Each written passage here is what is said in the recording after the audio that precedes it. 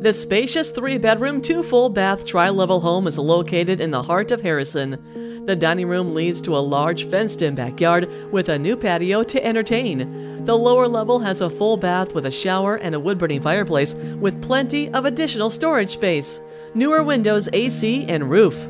Call Bri Biggs today for a private showing.